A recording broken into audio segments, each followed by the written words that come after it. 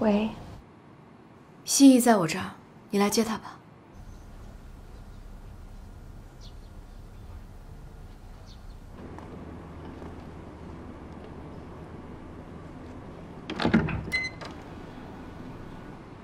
正在等你呢，进来吧。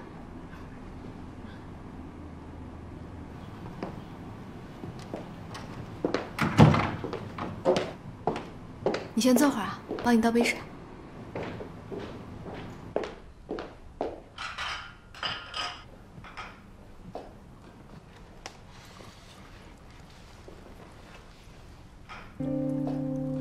不好意思啊，昨天晚上我和西义喝多了，所以没有接到你的电话。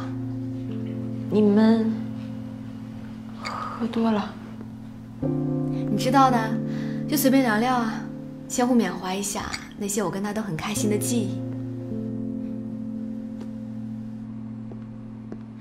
别误会啊，我们真的什么都没有发生。我跟他说我很难怀孕了，他也跟我聊了成为小西米爸爸的心情，说自己是个特别不合格的爸爸，得加倍努力才行。我说我也会努力成为一个合格的妈妈，即使是领养的孩子啊，我也会给他我全部的爱。你不继续跳舞了？唉，我累了。我现在渴望的不是舞台，而是一个温暖的家。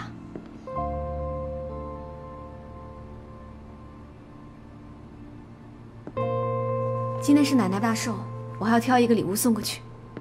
那心意就还给你了，拜拜。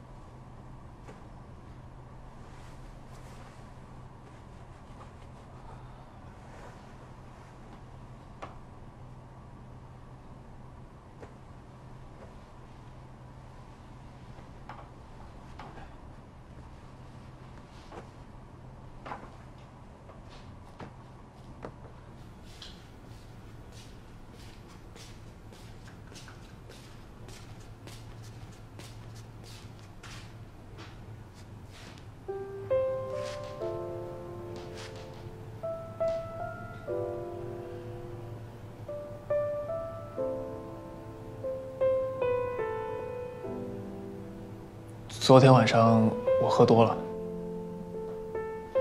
我知道，安娜都已经告诉我了。我给你泡杯茶。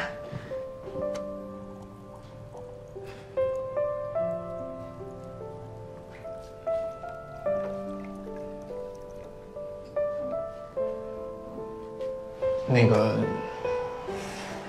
我昨天跟安娜把事情都说清楚了。我知道，安娜跟我说了。我跟安娜已经结束了。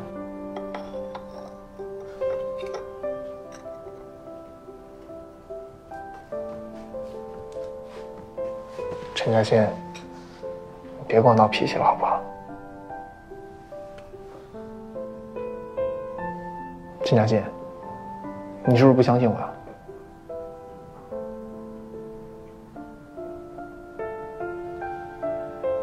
昨天晚上，其实事情经过我是不相信我自己。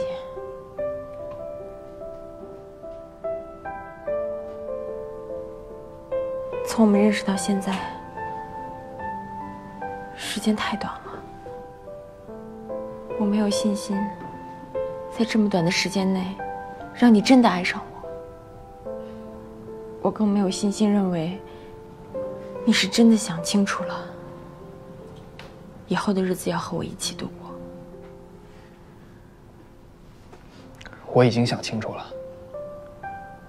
我说过，我会给你，还有小西米一个家。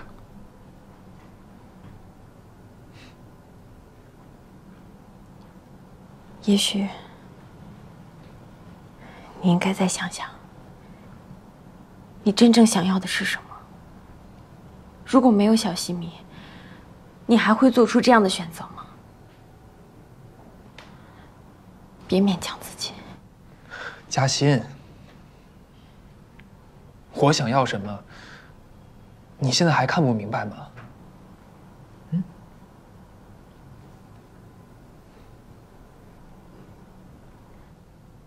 奶奶的寿宴快开始了，你好好准备一下。奶奶让我早一点过去，我们一会儿直接九点见吧。